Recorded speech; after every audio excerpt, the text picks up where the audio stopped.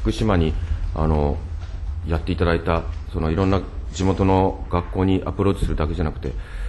まあ、高木大臣の講演会の人が福島に来てるってのは聞いたことないんですけども、ぜひ今後やっていただきたい。これ率先垂範です。私の知り合いの帯広の市会議員なんか、帯広から会津まで来るので大変なんですけど、数年にわたって福島に講演会連れてきていただいて、それが支援だってやっていただいていました。大臣も、まあ、選挙後どうなるか分かりませんが、あの率先垂範していただいて、これは公的な立場からも、私的な立場からも、この復興に資するんだという思いで、それはあの姿勢を示していただきたいというふうに思っています。で、さらにこの国が前面に立つって、これまでや言ってきましたけれども、その福島の第二の廃炉は、これは事業者任せになってますから、大臣の答弁もそれ以上の踏み込みがありませんでした。この点については、もし福島県に行かれて、第二の廃炉どうなってますから、正直に言っていただきたい。ここは国が前面に立ちません。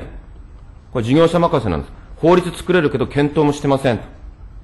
正直に言ってください、それは。我々は法律を作って、これ、廃炉に向かう努力をこれからしていきます。でも今、政府によってはそれはやらないという答弁でしたから、それは正直に福島の人たちに、前期廃炉ってことを言ってる。まして選挙のたんびに県連レベルでは全党それを指摘をしているにもかかわらず、国はやらない。やれるのにやらない。で、それは、そこは、ここは申し訳ないが国が前面に立ちません。あくまでも事業者任せなんです。はっきり説明してください。我々はそれに向かって努力をしますけれども、政府の立場からすればそれは幻想ですよと。言ってあげてください、正直に。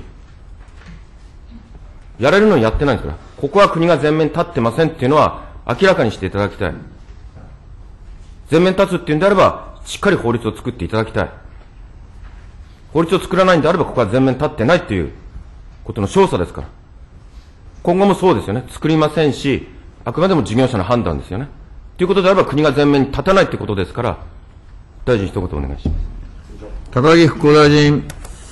あの前段の、まあ、講演会の話でございますが、まあ、確かにあのなかなか福井から福島というのは、まあ、ちょっと講演会の皆さんは来ておりませんが、あの地元でいろいろな発言をするたびに福島のことを話させていただいて、えー、例えばあの市議会の議員の皆さん等があ言っていただいたり、あるいは私の住んでおります地元の役所から、いわゆる職員を派遣させていただいたり、していただいたりもしておりまして、あの私なりに復興大臣として福島の復興に向けて、そういった個人的なレベルにおいても取り組みをさせていただいているということは申し上げたいと思います。また、あの、先ほどの F2 の 2F の話でございますけれども、あの、たびたび答弁をさせていただいておりますけれども、まあ、福島県から県内の全期廃炉の要要望があることというのは、よく承知をいたしております。え、福島第一原発で苛烈な事故が起きて、5年が経った今なお、多くの福島県の方々が避難されているところでございまして、福島県の皆様の心情を察すれば、福島第二原発の全期廃炉を早急に実現してほしいという思いを持たれることについては理解をするところでございます。復興庁といたしましては、こうした地元の思いを真摯に受け止めるとともに、原子力災害からの復興を進める立場から、福島第二原発についても大きな関心を持っているところでございます。その上で、福島第二原発につきましては、地元もの様々なご意見なども総合的に勘案しながら、事業者が判断を行うものと承知をいたしております。福島県民の心情を考えると、他の原発と同列に扱うのは困難と認識をしております。いずれにせよ、事業者や地元の方々の声を尊重していくことが重要だと考えております。小川君。時間が来たので終わりますけど、大臣とは関心を持っているだけで、全面立ってないということが明らかになりましたから。これはしっかり福島県民の前でも、ここは全面立ちませんって、はっきり今後言ってくださいね。何もアクションを起こせないんですから。